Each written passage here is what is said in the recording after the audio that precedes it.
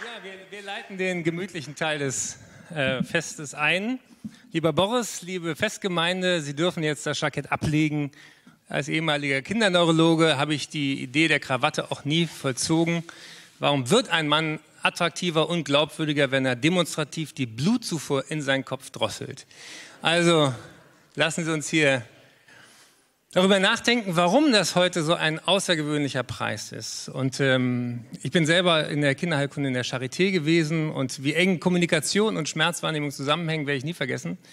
Ich musste assistieren, als der Chefarzt ein privat versichertes Kind lumbal punktierte. Das ist sehr unangenehm, aber eigentlich gefahrlos. Man macht sich so krumm und muss dann mit einer Spitzennadel in den Rücken. Und er war so der alte Schule, recht paternalistisch und sagte dem Jungen, ein Indianer kennt keinen Schmerz. Ich werde nie vergessen, wie der Junge sich umdrehte und ihm ins Gesicht schrie, ich bin kein Indianer, du Idiot. Und er zeigte mir, wie Boris Serniko eben beispielhaft Kommunikation vom Patienten her denkt. Ich habe selber Wissenschaftsjournalismus studiert, deswegen gestatten Sie mir einen kleinen Ausflug in die Wirksamkeit und die Wirkmächtigkeit, die wir dort haben. Denn wenn man in der Kinderklinik ist, hat man sehr viel mit Themen zu tun, die man in der Kinderklinik nicht lösen kann.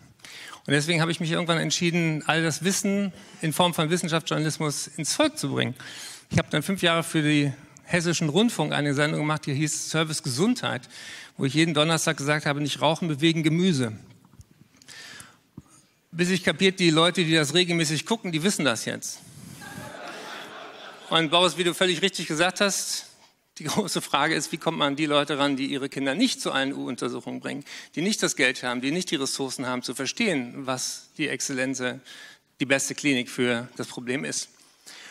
Und ähm, deswegen habe ich mir dann irgendwann klar gemacht, es gibt immer the law of inverse need in der Kommunikation. Man predigt immer den Falschen. Das ist nicht nur in der Medizin so, das ist in vielen Bereichen so. Wenn man Telefonmarketing macht für Hörgeräte,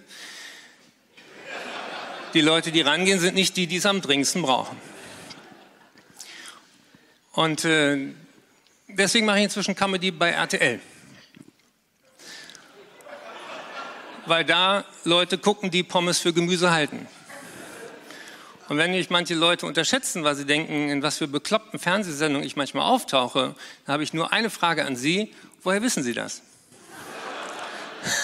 Also die große Frage, wie kommt Kommunikation zu den Menschen, die sie wirklich brauchen? Boris, du bist ein Pädiater der alten Schule. Du bist nämlich ein Arzt, der für die Menschen da sein möchte. Ich habe an der Charité gearbeitet. Wenn man heute Menschen auf der Straße fragt, wofür steht das Wort Charité, dann denken wir, wahrscheinlich kommt von Shareholder Value, weil die Medizin sich verändert hat in den letzten 30 Jahren. Charité kommt aber von dem schönen alten lateinischen Wort caritas, von Nächstenliebe. Ein Patient, wie du völlig richtig sagst, ist kein Kunde. Es ist ein Leidender vom Wort her. Und sich um Menschen zu kümmern, war ursprünglich ein Akt der Barmherzigkeit und nicht des Kommerzes. Wenn wir ein Hospital so benennen, heißt das, es ist ein Ort für kranke Menschen, ein Hospitality-Ort. Und die erste Frage sollte immer noch sein, wie kann ich dem helfen und nicht, wie kann ich den so im DRG-Fallpauschalensystem verschlagworten, dass ich maximal Rendite mache. Und deswegen finde ich es so außergewöhnlich, dass du heute diesen Preis bekommst, weil du eben nicht an einer großen Unikliniken arbeitest, sondern deine Nische gefunden hast in einem Ort wie Datteln und wie Witten, wo wir uns auch kennengelernt haben bei dem Vortrag, den ich dort für die Studierenden gehalten habe. Ganz wichtig, wie oft Kommunikation unterschätzt wird, das ist die Literaturliste zu dem 10 Minuten Zeichentrickfilm. Und das sind nur die Artikel mit A. Wir unterschätzen die Komplexität, die darin besteht, Dinge einfach, klar, aber richtig zu sagen. Und ein liebster Satz war kompliziert, weil nicht lineare Interaktion. Und deswegen bedanke ich mich auch im Namen der Öffentlichkeit und der Steuerzahler bei der DFG, dass sie sich getraut hat, diesen Schritt zu machen. Denn ich weiß, das ist nicht einfach. Es ist leichter, jemanden auszuzeichnen für Signalwege in der Zelle, als jemand auszuzeichnen für Signalwege aus der Zelle raus, aus dem Elfenbeinturm raus. Und äh, einen Mediziner auszuzeichnen, der bisher noch kein DFG-Stipendium hatte, auch das ist ein Novum. Ich habe dank eines Stipendiums, deswegen bin ich auch sehr froh über die Forschungsgemeinschaft in Deutschland, in England studieren dürfen. Ich werde nie vergessen, wie der äh, Oberarzt mich fragte, was ist eigentlich das wichtigste Teil am Stethoskop? Und ich überlege, ist die Membran, ist der Schlauch? Und er sagte, nee, der Teil zwischen den beiden Ohrenstöpseln. Und das sollten wir nie vergessen.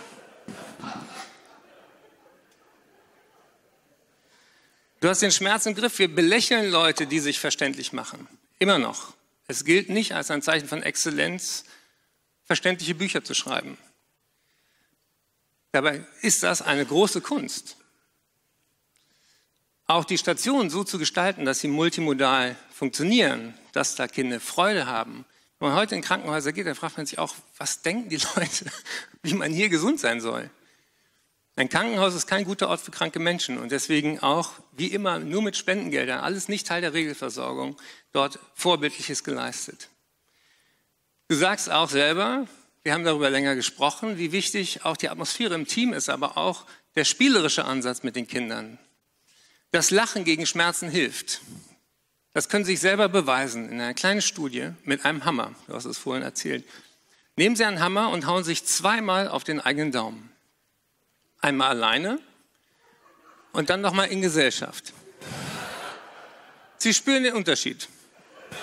Alleine tut es lange weh, in Gesellschaft muss ich über mein Missgeschick lachen und der Schmerz lässt nach. Und deswegen sollten Menschen mit Schmerzen nicht alleine sein und was zu lachen bekommen. Kinder lachen normalerweise 400 Mal am Tag, Erwachsene 20 Mal, Tote gar nicht. Da erkennt man auch ohne ANOVA-Analyse die statistische Tendenz.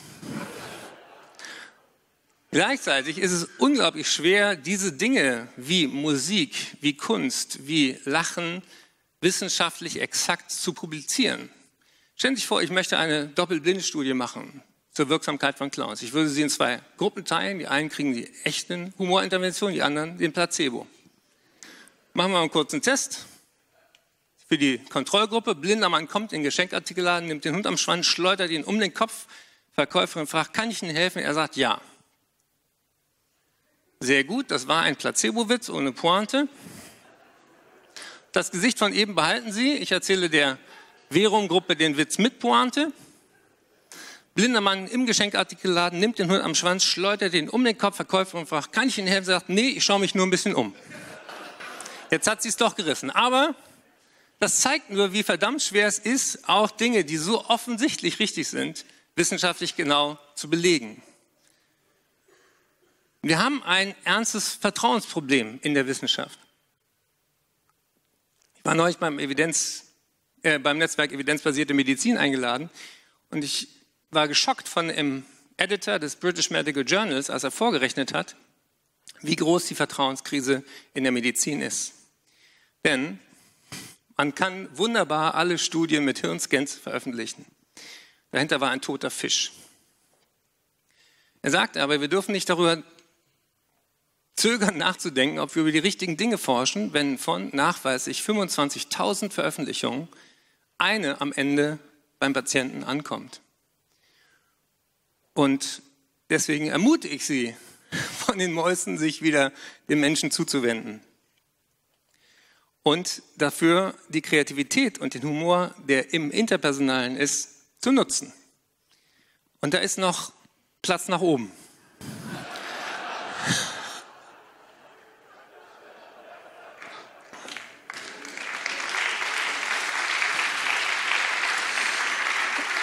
Bevor ich muss mal kurz ein, ein, ein, ein, äh, eine Nulllinie beim, beim, beim Publikum ermessen. Sagen ihren, äh, ich weiß ja gar nicht, wie viele Geisteswissenschaftler, wie viele Naturwissenschaftler, wie viele Mediziner da sind. Mal einen kurzen Test ähm, für die Naturwissenschaftler. Ein Testwitz. Ein Neutron steht vor der Disco und der Türsteher sagt, sorry, heute nur geladene Gäste. Okay? Dann einer, wie viele Mediziner sind im Publikum? Was ist das, wenn ein Orthopäde und ein Chirurg ein EKG befunden? Eine Doppelblindstudie. Okay. Und was wollte ich noch? Genau. Ich wollte noch das allgemeine Selbstironieverständnis kurz testen. Statistisch ist jeder dritte Deutsche hässlich wenn Sie kurz die Gelegenheit nutzen, rechts und links schauen. Und wenn die beiden okay aussehen, dann haben Sie Humor. Sie dürfen alle bleiben. Wofür ich Boris loben will, ist, es gibt einen schönen Satz, Pioniere erkennt man daran, sie haben Pfeile im Rücken. Und auch wenn man heute ihn feiert, darf man nie vergessen, wie steinig dieser Weg ist mit einem Thema, was keine Lobby hat, was kein Geschäftsmodell hat, wo er sagt, wie, wie viel einfacher es ist, für, für Studien mit Medikamenten Geld zu bekommen, als für alle die Beratungen, die Gespräche, all das, was drumherum passiert. Das wird nicht ernst genommen bis heute in seiner Wirksamkeit und dafür muss man dich immer wieder als Vorbild auch loben. Und deswegen habe ich dir auch einen kleinen Preis mitgebracht, nämlich ein paar Manschettenknöpfe für Anlässe wie diesen. Da steht drauf Trust me auf dem einen und I'm a Doctor. Die möchte ich dir nachher verleihen, weil wir haben eine Vertrauenskrise. Die Menschen denken nicht besonders vernünftig. Und das, was Wissenschaft tut, ist überhaupt nicht mehr Common Sense. Wir schlittern auch durch diese Umsonstkultur im Internet in eine Zeit rein, wo jeder Bullshit erzählen kann und sich keiner mehr fragt, wo ist die Quelle, wo ist der Beweis, wie wurde dieses Wissen sozusagen gefunden. Kleines Beispiel aus meinem Bühnenprogramm über Alternativmedizin. Ein Freund von mir ist sehr esoterisch. Wir frühstücken, da fällt der Toast auf die Butterseite vom Tisch. Und er sagt sofort Murphy's Law. Und ich sage Newton. Für ihn war es ein Beweis, dass immer das Schlimmste anzunehmende passiert. Und ich sagte, vielleicht geht es auch eine Nummer kleiner, das zu erklären. Ich sagte, pass auf, Paul, vielleicht hast du so eine zentrale Position im Universum, dass es da dunkle Kräfte gibt, die den ganzen Tag sich den Kopf zerbrechen, wie sie dir persönlich das Leben schwer machen. Ist eine mögliche Hypothese aber nach Oppernschen Messer, lass uns mal überlegen, ob wir es auch mit Rotation und Gravitation erklärt bekommen. Und ich merkte schon, er mochte das nicht. Und ich sagte, pass auf, der Toast kann sich aus dieser Höhe nur ein halbes Mal drehen und deswegen ist er immer auf der Seite, dann, die vorher oben war. Ja, du mit deiner Wissenschaft. Da sagte ich, Paul, das Schöne ist, es ist nicht meine Wissenschaft, die gehört uns allen. Das würde jeder Toast an jeder Stelle der Welt tun. Ob du oder ich dabei sind, ist dafür völlig irrelevant. Und ich merkte schon, wie ihm der Kamm schwoll. Und ich sagte, wie finden wir heraus, ob du oder ich recht haben mit der Erklärung der Hypothese? Und ich sagte, wir machen ein Experiment. Du machst den Toast selber eigenhändig mal aus der doppelten Höhe. Ihn fallen, wir gucken, was passiert. Ergebnis offen. Und was macht der Toast? Vorhersagemäß eine ganze Umdrehung und er landete auf der Seite ohne Butter. Und ich dachte, jetzt ist er überzeugt. Pustekuchen, der war richtig stinkig. Er hat gesagt, gib dazu, du hast mit Absicht die Butter auf die falsche Seite gemacht. Und wie in jedem guten Witz steckt darin ein großes Fund Wahrheit, nämlich die große Frage, wie überzeugt man Menschen von wissenschaftlichem Denken, die überhaupt keine Lust haben, überhaupt so herangeführt zu werden. Und deswegen ist es eine Aufgabe für alle, denen diese Art und Weise dieser Welt zu begegnen wichtig ist, sich viel mehr Gedanken darüber zu machen, wie wir die nächste Generation auf diesen Zug aufsetzen. Insbesondere was seelische Gesundheit, Psychologie angeht. Dafür habe ich mit Glück kommt selten allein versucht, auch neue Wege in der Kommunikation zu finden. Ein Online-Training, noch keine App, aber immerhin ein Online-Training, was wir auch dann wissenschaftlich evaluiert haben. Und es funktioniert. Es funktioniert vor allem bei gestreuten Callcenter-Mitarbeitern, nicht bei Leuten, die sich sowieso Ratgeberbücher kaufen. Paul Watzlawick hat uns allen wunderbare Metaphern geliefert, wie schnell wir pseudorelevante Zusammenhänge sehen. Ein Mann geht durch die Straße und klatscht in die Hände. Und er wird gefragt, was tun Sie da? Ich vertreibe Elefanten. Hier gibt es keine Elefanten. Sehen Sie? Und er hat auch etwas sehr Wichtiges gesagt, wenn man Ratschläge gibt, da sind auch Schläge. Und gerade wenn man so tut, als wäre es einfach, Dinge zu verändern, fühlt man sich danach schlechter als vorher. Und, wie wir auch bei jeder guten Studie wissen, man braucht eine Kontrollgruppe für den natürlichen Verlauf. Wenn ich mich ans Meer stelle und Leute aus den Bergen beeindrucke, sage ich, passen Sie auf, ich kann dafür sorgen, dass das ganze Wasser sich dem Ufer nähert, geben Sie mir sechs Stunden Zeit. Wenn man nichts von Ebbe und Flut weiß, ist man beeindruckt. Das heißt, wir müssen uns viel mehr darüber Gedanken machen, wie findet Wissenschaft zu den Menschen, die Entscheidungen treffen. Ganz konkretes Beispiel. Kommunikation über Masern. Es sind Kinder wieder gestorben an einer Infektion, die man mit zwei einfachen Injektionen verhindern kann. Und Boris, du hast auch diese Kinder, ich kenne die auch aus der Kinderneurologie, die schwere Hirnhautentzündungen haben, die nicht mehr zu sich kommen, die wir sozusagen opfern einer ideologisch geführten Impfdiskussion. Ich habe neulich bei Frank Plasberg auf dem Podium gesessen mit drei Leuten, die gegen Impfen waren und zwei, einem Kinderarzt und mir sozusagen als Gegenstimme. Und ich habe mit der Redaktion gesagt, was ist das für ein komisches Panel? Wie können wir diese Diskussion führen, wenn eine Gruppe, die zwei Prozent in der Bevölkerung ausmacht, plötzlich 60 Prozent auf dem Panel kriegt?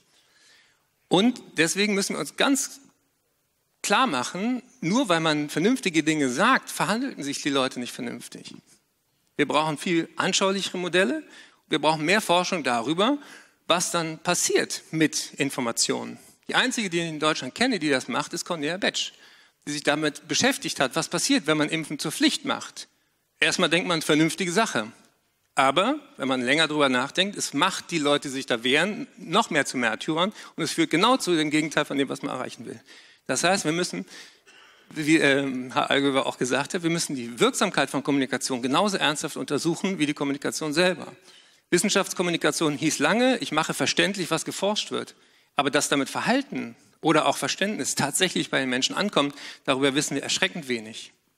Die Amerikaner machen es uns vor, man kann das sehr, sehr lustig machen. Gucken Sie sich mal an, Choosing Wisely.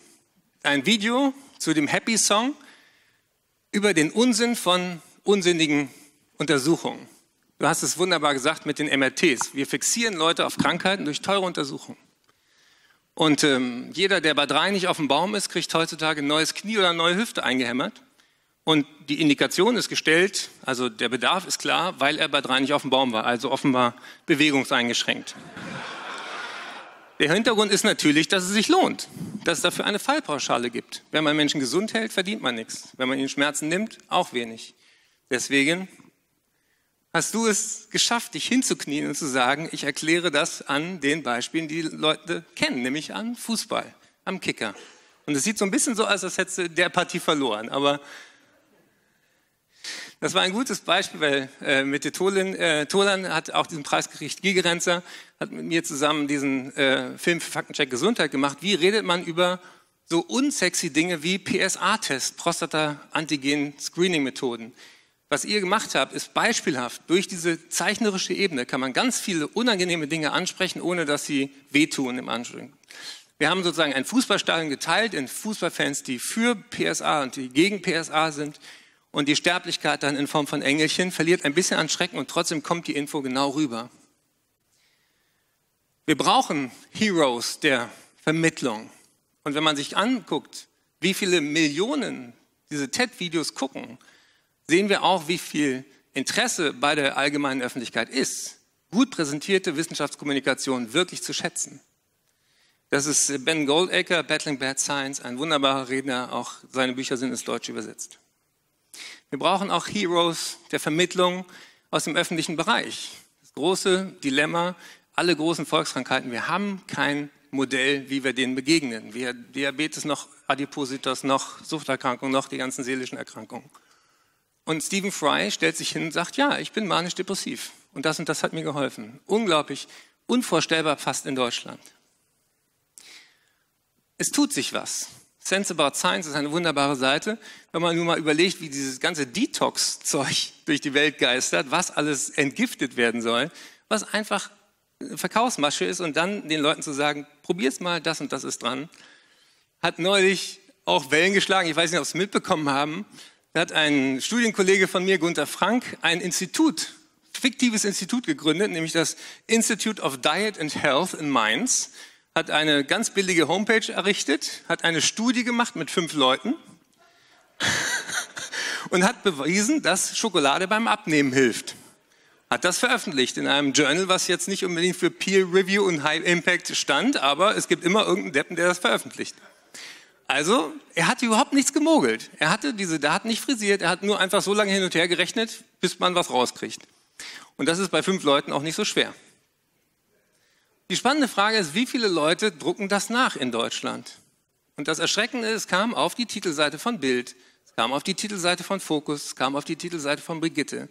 Das heißt, wenn wir nicht dafür sorgen, dass Wissenschaftsjournalismus in diesem Land einen Stellenwert hat, werden immer mehr unsinnige Botschaften durch die Welt gepustet, weil kein Redakteur mehr kapiert, das kann gar nicht sein. Kein Redakteur hat geguckt, wo kommen diese Daten her, gibt es dieses Institut, wer hat das untersucht, was war die Methodik. Und deswegen möchte ich lobend erwähnen, dass einige Leute aus der Jury sich auch für den Mediendoktor engagieren, nämlich dieses Handwerkszeug wirklich hochzuhalten. Das ist ein Tropfen auf den heißen Stein, denn der heiße Stein heißt auch, es gibt ein Science Media Center, aber auch wieder nur aus privaten Mitteln, nichts, was in der Öffentlichkeit finanziert ist. Ich erlebe gerade in meinem eigenen Sendersystem, im WDR und der ARD, eine Katastrophe, die hoffentlich noch Wellen schlägt. Und deswegen heute hier in dieser Community auch ein paar ernste Töne. Die freien Journalisten, die einen Großteil der Berichterstattung machen, sollen radikal gekürzt werden. Das heißt, immer weniger Fachkompetenz, immer mehr schnell, schnell, immer mehr Zusammenschnitte, immer mehr, ach komm, Pressemitteilung, ja, machen wir. Und ähm, das ist der Kern des öffentlich-rechtlichen Systems. Genauso wie Sie, genauso wie öffentliches Geld zusammenkommt für die ARD, müssen wir verteidigen, dass dieses Geld auch dafür ausgegeben wird, dass es im öffentlichen Interesse unabhängigen Journalismus, gerade auch zu Wissenschaftsthemen gibt. Und deswegen hoffe ich, dass nachher in der Diskussion auch bei Sekt und äh, Schnittchen auch darüber gesprochen wird, wie kann man diesem Desaster entgegengehen und sagen, hier, wir brauchen das, das ist der Kern der ARD, des öffentlich-rechtlichen Fernsehens. Und wir brauchen Heroen, die uns zeigen, wie cool auch Wissenschaft ist. Ich hatte das große Glück, Eric Kandel interviewen zu dürfen. Das ist der ähm, ähm, Medizin-Nobelpreisträger, der die Synapse bei Aplysia entwickelt hat. Ich redete mit ihm über Kunst. Und ich sagte, dieses Bild macht mich aggressiv. Er sagte, nee, es macht mir Freude. Und er schnappte sich seine Frau und tanzte durch das, äh, durch das Kunstmuseum, weil er Wiener ist und nicht ganz freiwillig Wien verlassen hat. Und ich fragte ihn dann, warum gehst du mit über 80 Jahren immer noch jeden Tag in ein Institut? Und er sagte den schönen Satz, Eckart, ich wüsste nicht, was mir annähernd so viel Freude machen könnte, wie weiter zu forschen, weiter Fragen zu stellen. Und ich fragte ihn, wie lernt man zu denken wie ein Nobelpreisträger? Und er sagte, typisch jüdische Denkkultur, die anderen Kinder wurden, wenn sie aus der Schule gekommen sind, immer gefragt, was hast du heute in der Schule gelernt? Und ich wurde immer gefragt, was hast du heute in der Schule für eine Frage gestellt? Gute Fragen zu stellen ist wichtiger als Antworten parat zu haben. Und diese Art von Denken kann man kultivieren oder wir können auch zusehen, wie diese Art im Internetzeitalter dahin schwindet. Neugierig zu bleiben ist unsere aller Aufgabe. Und ich finde es auch lustig, dass wir im Bergbaumuseum tagen, was aus einer Zeit stammt, wo die Klimaanlage noch keine Rolle spielte was uns aber auch daran erinnert, man braucht viel Kohle, um ein paar Diamanten zu finden. Ich möchte mich verabschieden mit einem kleinen Zaubertrick. Denn ähm, der Hebel der nichtlinearen Übermittlung ist riesig. Drei Beispiele. Wir haben wirksame Medikamente gegen Bluthochdruck. Die Hälfte der Menschen, die es brauchen, nimmt es nicht. Die Hälfte der Menschen, die dement werden könnten, fünf Jahre später erst dement werden, wenn wir Blutdruck behandeln. Und es ist keine Frage, dass wir nicht genug über den Rezeptor wüssten. Wir wissen viel zu wenig darüber, wie Menschen motiviert sind, das zu nehmen, was sie brauchen. Beim Impfen haben wir es gesprochen bei, über der, regionalen, über der, bei der Überversorgung. Und deswegen eine letzte kleine Attacke auf ihr lineares Denken. Ich war lange, bevor ich Medizin studierte, schon begeistert für die Zauberkunst. Zwei Dinge passieren hintereinander und sofort denkt unser kausal-analytischer Verstand, aha, ich habe es kapiert, das hängt zusammen. A passiert und B passiert, also passiert B, weil A von weg ist. Post hoc ergo propter hoc. Oder der Berliner sagt dit weil dit. Und im biologischen System, erst recht in der menschlichen Seele, sind die Dinge eben nicht so einfach wie A und B. Es gibt immer ein X, was mit A zusammenhängt ein Y, was mit B zusammenhängt. Und das Ganze ist meistens so nicht linear miteinander korreliert, dass unser kleiner Verstand ganz schnell aufgibt. Wir brauchen nicht mehr zu wissen über die Benachteiligung von 20 Prozent der Bevölkerung. Wir müssen mehr wissen über wirksame Intervention. Und das heißt auch, sich an komplexere Dinge heranzutrauen und sich trauen, in die Röhre zu schauen und dafür baue ich auch mein Modell auseinander und ich zeige Ihnen, Die Verbindung war nicht zwischen meinen Händen, die war zwischen ihren Ohren, in ihrer Fantasie. Je größer die Insel unseres Wissens, desto größer ist das Ufer zum Ozean unserer Ignoranz. Und deswegen sind gute Wissenschaftler nie arrogant wie das Klischee, sondern sind immer bescheiden und demütig ihrem Fach und den Patienten gegenüber. Und die freuen sich, wenn man auch manchmal nicht weiß, wie es geht und es trotzdem irgendwie funktioniert. In diesem Sinne lassen Sie uns die Kommunikation und den Humor ernst nehmen, denn es ist das, was Menschen brauchen. Herzlichen Dank.